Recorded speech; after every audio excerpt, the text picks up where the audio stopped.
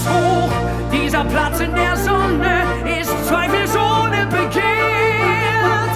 Mein künstlerisches Feuer verkaufe ich bin ein Star, alles klar. Die Idee ist entstanden, da der Christian Kolonowitz und auch die Angelika Messner als Librettistin ja schon einmal für uns an der Volksoper ein Stück geschrieben haben, Antonia und der Reisteufel, und im Jahr 2011 zum ersten Mal vorgeschlagen haben, doch ein Stück über Antonio Vivaldi zu bringen, der für den Christian Kolonowitz der erste große Popstar war. Hallo meine Damen, heute Nacht bin ich noch frei. Morgen bin ich Priester, dann ist alles vorbei. Also für mich lag die Faszination natürlich auch in dem lebendigen Menschen Vivaldi, der im Grunde wirklich so gelebt hat, wie ich in den 60er Jahren des letzten Jahrhunderts Musik erlebt habe.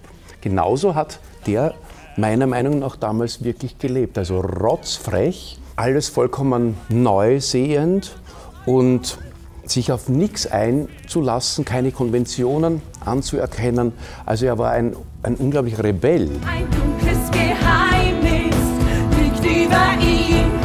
Doch wir wissen, sein letztes Werk schrieb er in Wien. Das Stück beginnt auf einer realistischen Ebene am Karlsplatz, das wir bühnenbildtechnisch in einem Art Filmkulissen, Zitat en Miniatur bauen. Dann blendet das Stück rüber in eine reale Situation 1740, also wenn Vivaldi die Koffer packt, um nach Wien zu gehen. Und dann haben wir in der Theater auf dem Theatersituation bei Goldoni die Situation, dass wir da nochmal von der Kindheit bis zur 1740 Gegenwart durch das Leben von Vivaldi gehen. Das war diese eine Schiene, die wir bei der, bei der Idee des Stückes aufgenommen haben, dass ein Künstler überhaupt auf die Idee kommt, dass er sich inszeniert. Und die andere Geschichte, die kommt eben auch ganz stark in dieser Anina-Figur heraus. Dieses Weggehen von der Commedia dell'arte und von den Masken und von dieser Künstlichkeit zu immer mehr Natürlichkeit.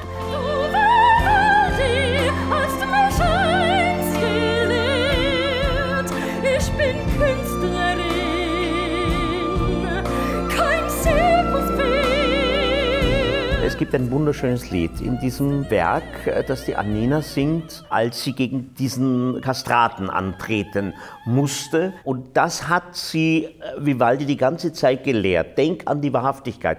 Denk, dass es du bist. Du bist es. Du bist keine Kunstfigur, du bist kein Zirkuspferd, wie er so schön sagt. Da denke ich auch immer drüber nach, was machen wir eigentlich auf der Bühne? Also, was stellen wir da eigentlich dar? Wollen wir jetzt irgendwie nur im Mittelpunkt stehen und von Scheinwerfern angeleuchtet? Oder will ich wirklich eine Figur, eine ganz ernste, mit all seinen Sorgen und, und, und Verzweiflungen und so weiter spielen? Zu groß die Versuchung, im Lichterglanz zu stehen, gefeiert zu werden, in die Menge zu sehen, von Gott und den Menschen geliebt. Die Arrangements sind wirklich ineinander geschrieben. Also das, was Rockmusik stilistisch ist, kommt davor in dieser Band und gleichzeitig kommt diese Vivaldi-Stilistik auch davor und es geht sich aus. Also weder muss sich die Barockmusik verbiegen, noch muss sich die Rockmusik verbiegen.